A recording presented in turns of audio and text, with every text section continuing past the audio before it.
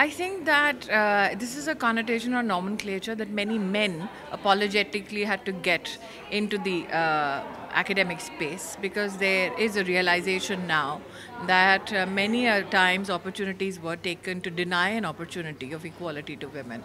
So, empowerment is something which is not gender bias.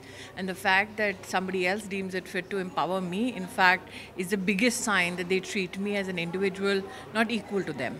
So, what drives empowerment, possibly, irrespective of gender, is education, is equal opportunity, and uh, I think that understanding of empowerment should not be limited to women because men who are not empowered with education do a great uh, service to the gender, uh, not of men but of women.